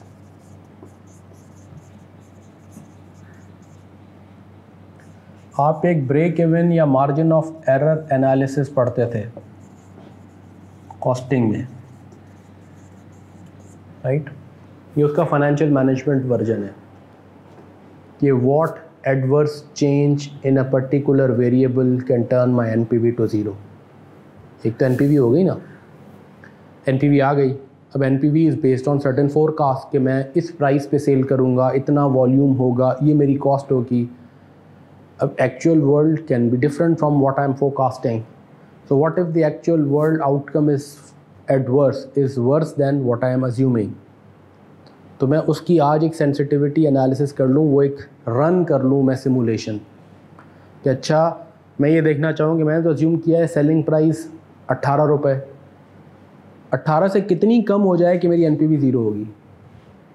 अट्ठारह से पंद्रह पे जाके एन पी ज़ीरो हो रही है या बारह पे हो रही है? तो मुझे पता चल जाएगा कि how sensitive is my project to change in selling price assuming all other factors constant अच्छा मैंने एज्यूम किया है कि मेरी मटेरियल कॉस्ट होगी पाँच रुपये अब ये पाँच रुपये से बढ़ के कॉस्ट की इंक्रीज़ प्राइस की डिक्रीज़ एडवर्स है। कॉस्ट पाँच रुपये से बढ़ के आठ रुपये हो जाए तो एन पी वी ज़ीरो हो जाएगी या नौ रुपये हो जाए तो एन पी वी ज़ीरो होगी। तो मुझे पता तो हो कितनी adverse change from what I am expecting forecasting will turn my N P V to zero मैं एज्यूम कर रहा हूँ कि मैं तीन मिलियन या चार मिलियन का वॉल्यूम सेल करूँगा। वॉल्यूम में कितनी डिक्रीज आ जाए that can turn my N P V to zero that sensitivity analysis तो sensitivity analysis what is it इसके बेसिक्स या कॉन्सेप्ट डिस्कस किए हैं। इसकी कैलकुलेशन हमने डिस्कस किए हैं। It's a one factor at a time model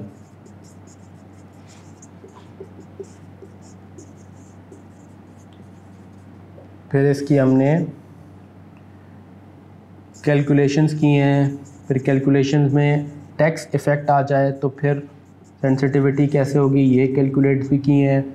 फिर हमने इसकी पूरी यूटिलिटी कि इसकी यूटिलिटी हमें क्या है प्रोजेक्ट से पहले पोस्ट प्रोजेक्ट इसकी यूटिलिटी क्या है सेंसिटिविटी एनालिसिस का पूरा टॉपिक किया है। इस टॉपिक का पूरा नाम है sensitivity analysis and missing figures यानी इस एरिया का। क्योंकि जैसे ही हम सेंसिटिविटी एनालिसिस सीख लेते हैं तो फिर हम मिसिंग फिगर्स फाइंड आउट करना भी इसके थ्रू सीखते हैं। ये भी इसके अंदर हमने सीखा है।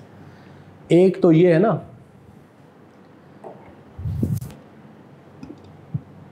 कि मुझे डेटा दिया जाए, कहा जाए एनपीवी निकालें। बास क्वेश्चन में आपको एनपीवी गिवन होगी। कहा जाएगा, बताइए वो क्या सेलिंग प्राइस है, वो क्या वॉल्यूम है जिसकी बेसिस पे इस एनपीवी पे पहुँचेंगे आप। So now what you have to do is work back it's a missing figure question कहलाता है ये, कि you have been given the outcome you need to find out what a particular variable should be to achieve this outcome. तो वो भी हम इसमें पढ़ते हैं missing figures sensitivity analysis and missing figures ये एरिया अच्छे तरीके से आप करेंगे कवर फिर इसके बाद हमने जो नेक्स्ट टॉपिक पढ़ा है, वो है आईआरआर का। आईआरआर इंटरनल आईआरआर की कैलकुलेशन है बेसिकली इसमें हमने आईआरआर कैलकुलेशन आईआरआर है क्या कॉन्सेप्ट तो हमने आपको शुरू में ही हमने डिस्कस किया आईआरआर की कैलकुलेशंस कैसे होगी थ्रू इंटरपोलेशन फार्मूला राइट फिर एन पी एनपीवी बमुकाबला आईआरआर इसके अंदर हमने पढ़ा है। आईआरआर की कैलकुलेशन थ्रू दैट फार्मूला आपने वैसे भी कैफ लेवल पे भी पढ़ा हुआ है। ये जो इंटरपोलेशन का फॉर्मूला है P minus N B minus A right A is a lower rate with positive N P V B is a higher rate higher negative N P V याद आ रहा है कुछ? Once upon अ time? तो ये formula refresh कराया गया, ये कैलकुलेशन रिफ्रेश कराई गई है कॉन्सेप्चुअल बेसिक्स बताए गए हैं।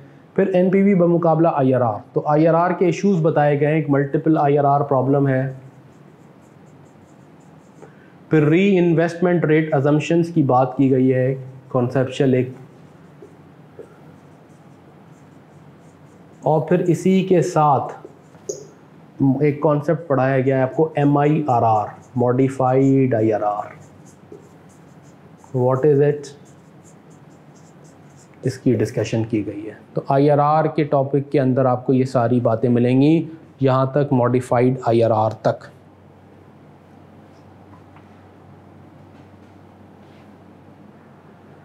In the next two weeks i would expect that you guys would at least cover this. Basic investment appraisal को ढंग से पूरा करें। ये सेंसिटिविटी एनालिसिस आईआरआर इसके बाद फिर और टॉपिक है एसेट रिप्लेसमेंट डिसीज़न फिर capital rationing but I think Eid तक अगर आप ये एरियाज़ ढंग से कर लें।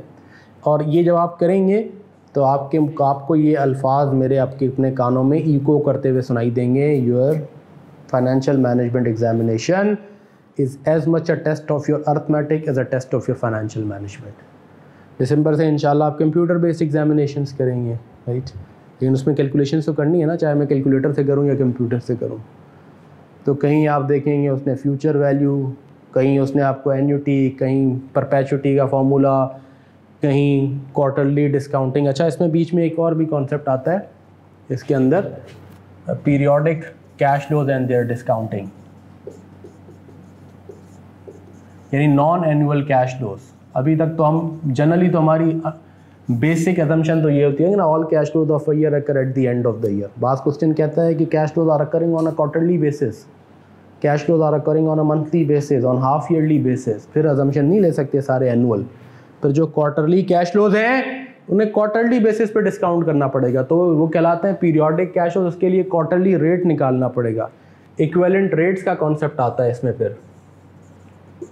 इक्वेलेंट रेट्स और फिर उसका ये फॉर्मूला आता है one plus a is equal to one plus e r power e n तो पीरियोडिक कैश फ्लोज उनकी डिस्काउंटिंग इसका भी सारी कहानी, ये सब आप एक्चुअली पूरा करेंगे तो बेसिक्स कंप्लीट होंगे N P V discounting cash flow के।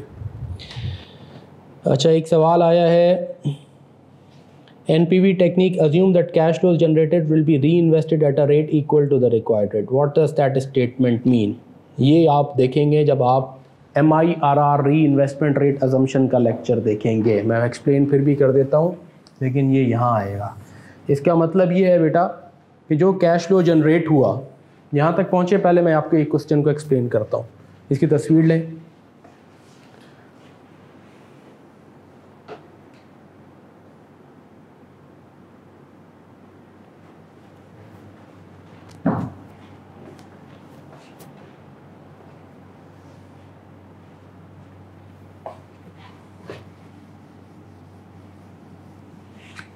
तो ये तो वो टॉपिक्स हैं जो आप देखेंगे।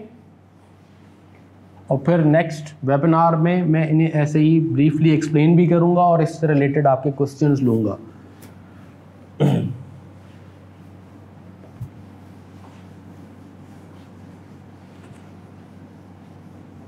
अभी मैं आपके क्वेश्चन का आंसर करता हूँ। ये कह रहे हैं कि आपने एक स्टेटमेंट दी है, जिसने भी ये लेक्चर देखा है, उसमें एक स्टेटमेंट है वो स्टेटमेंट ये कहती है कि N P V assumes reinvestment rate equal to required rate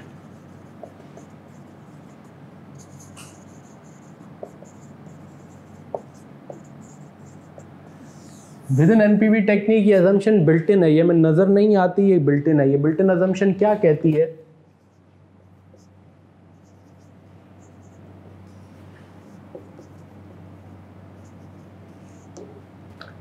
late suppose करें आपने सारे कंपोनेंट्स करके टैक्स वैक्स अकाउंट फॉर करके आपके पास ये नेट कैश लोज बन गए। ये आ गया सौ million net cash flow rupees in million date से यहाँ आ गया आपका फोर्टी मिलियन यहाँ आ गया आपका सेवेंटी मिलियन यहाँ आ गया आपका फिफ्टी मिलियन राइट हम एनपीवी कैलकुलेट करते हुए डिस्काउंटिंग करते हैं। Let's assume discount rate of पंद्रह परसेंट। ठीक है? कैलकुलेशन से समझ में आ जाएगी बात। आप इसे डिस्काउंट करें 1.15 पावर वन कैलकुलेटर उठाएँ 1.15 पावर टू 1.15 पावर थ्री और मुझे बताएँ, क्या प्रेजेंट वैल्यूज़ निकल रही हैं? जी? पहले का आ गया 40 divide by 1.15 34.8 right 70 divide by 1.15 power two is 52.93 यानी नाइन। फिर आ गया 50 डिवाइड बाय 1.15 पावर थ्री। क्या बन गया?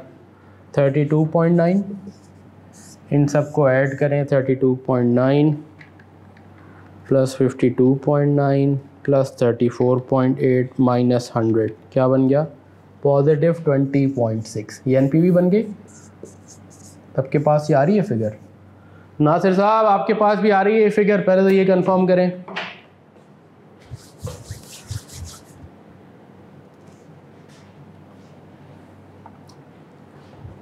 यस सर इनके पास भी आ गई। अच्छा जी।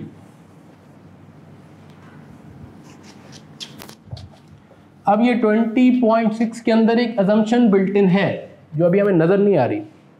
वो मैं एजम्पन अभी एक्सप्लेन करता हूँ। अजम्पन क्या है? वो अजम्पन ये है कि जो 40 का कैश लो मिलेगा, कुछ करेंगे ना इसका? एक पहला साल ख़त्म हुआ। जब पहला साल ख़त्म होगा 40 मिलियन आएगा तो क्या करेंगे? उसको देख देख के जिएँगे थोड़ी, कहीं इन्वेस्ट करेंगे। तिजोरी में रखूँगा तो कुछ भी नहीं मिलेगा, कहीं इन्वेस्ट करूँगा ना।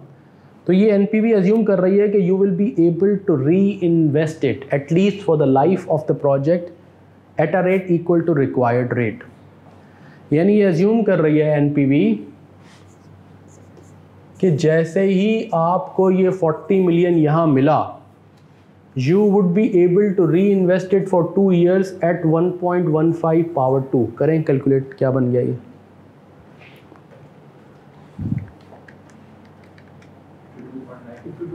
फिफ्टी टू पॉइंट नाइन की फिगर बन गई। ये जो आपको यहाँ एक कैश फ्लो मिला, कितना? सेवेंटी एक साल है ना अभी इसमें। You will be able to reinvest for one year at one point one five करें?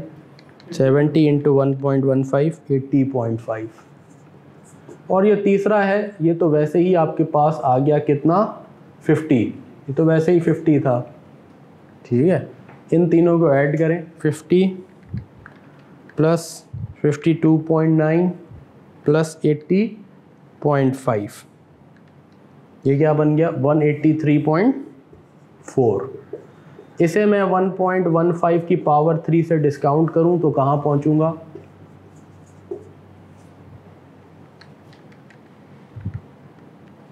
वन ट्वेंटी पॉइंट सिक्स तब जाके ये बन रहा है ट्वेंटी पॉइंट सिक्स ये ट्वेंटी पॉइंट सिक्स उस वक्त ट्वेंटी पॉइंट सिक्स है।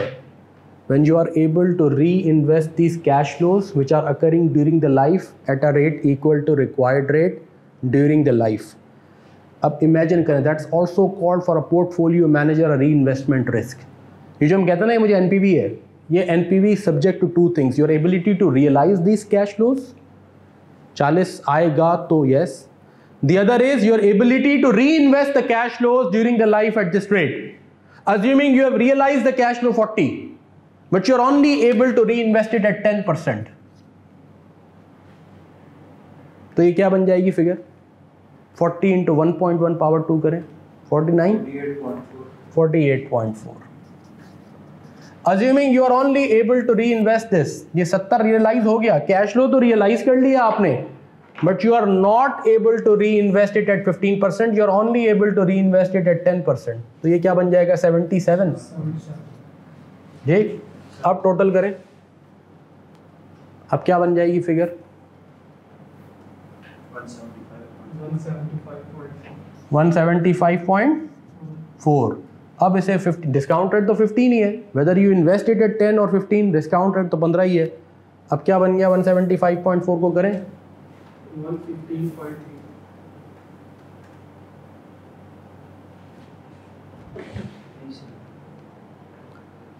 फिफ्टी ऊपर ऐड करें plus forty eight point four plus seventy seven divide by one point one five power three one one five point three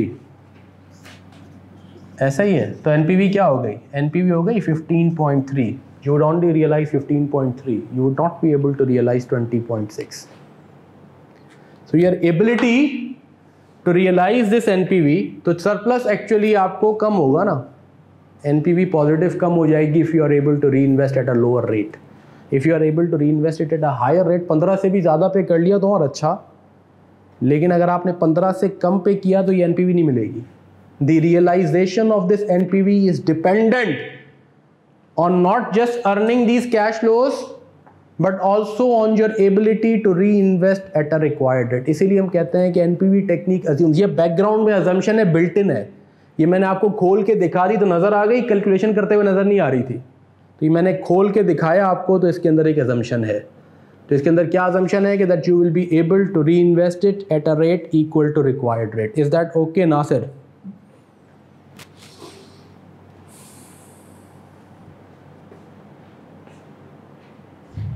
is that clear? What what does this mean? तो जब हम ये कहते हैं कि NPV के अंदर ये अजम्पन बिल्ट इन है, ये इसका मतलब है, ये अजम्पन बिल्ट इन ये है। अब इसकी तस्वीर ले लें। ये है इसका मतलब जब हम कहते हैं कि NPV technique assumes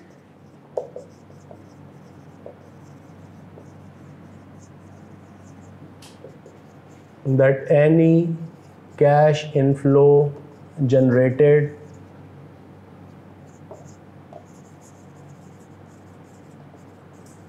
will be reinvested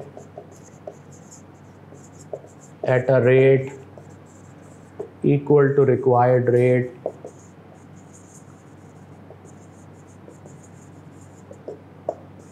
during the life of the project जिसको मैं शॉर्ट फॉर्म में कहता हूं कि NPV assume reinvestment rate equal to required rate reinvestment at required rate की एजम्पन बिल्ट इन है एनपीवी में। अब इसकी तस्वीर लें आप। On the contrary I R R technique में अजम्पन होती है कि reinvestment equal to I R R होगी। ये सारी बातें उस आई आर आर के टॉपिक में पूरी एक्सप्लेन की गई हैं। इसकी पूरी वर्किंग्स कराई गई हैं आपसे। तो यहाँ चूँकि आपने सवाल पूछ लिया तो मैंने एक्सप्लेन कर दिया, लेकिन जो आई आर आर टेक्निक का टॉपिक है, उसमें ये N P V I R R conflict reinvestment rate assumptions के डिफरेंसेस और फिर उसी के बाद logically modified I R R क्या बनता है? उस मॉडिफाइड आई आर आर तक पहुँचाया गया है आपको एम आई आर आर एक चीज़ में और भी यहाँ एक्सप्लेन कर दूँ चूँकि बात हो रही है, याद रखिएगा। कैश फ्लोज प्रोजेक्ट के कैश फ्लोज तक, चाहे एन टेक्निक हो आईआरआर हो मॉडिफाइड आईआरआर हो नेट कैश फ्लोज तक आप ऐसे ही पहुँचेंगे, चाहे कोई भी टेक्निक यूज़ करें। उसमें कॉमा फुल स्टॉप का फ़र्क भी नहीं होगा। नेट कैश फ्लोज ऐसे ही बनेंगे, जैसे आई आर आर एन के लिए बना रहे हैं, ऐसे ही आई आर आर के लिए बनाएँगे, ऐसे ही मॉडिफाइड आई आर आर के बनाएँगे। नेट कैश फ्लोज बनाने के बाद का प्रोसेस डिफरेंट होता है। एन पी वी में उन कैश फ्लोज की डिस्काउंटिंग होती है। आईआरआर में हम इंटरपोलेशन के थ्रू दो रेट्स के थ्रू डिस्काउंटिंग करते हैं। मॉडिफाइड आईआरआर में हम उनको थोड़ा अलग तरीके से लेके चलते हैं। लेकिन नेट कैश फ्लोज बनाने तक का प्रोसेस सारा सेम है। Is no change in the process of determining net cash flows is that okay right बल्कि इवन ए भी जब भी हम पढ़ेंगे एडजस्टेड प्रेजेंट वैल्यू तक नेट कैश फ्लोज ऐसे ही डिटर्मिन होंगे, उसके डूज एंड डोंट्स वही हैं। तो यहाँ पे हम करते हैं बात ख़त्म। अब आपके पास होमवर्क मिल गया। आप यहाँ तक ईमानदारी के साथ, मेहनत के साथ ये सारे रिकॉर्डेड लेक्चर्स देख के आएँगे। जब आप देख के आएँगे और फिर आप मुझसे डिस्कशन करेंगे तो आपको भी मज़ा आएगा, मुझे भी मज़ा आएगा and I'll be able to answer your queries properly with this we conclude today session आपको एडवांस ईद की मुबारक हो, बकरा, गाय, दुम्बा, ऊँट, सब जो भी है मुबारक हो and we'll meet in in next webinar thank you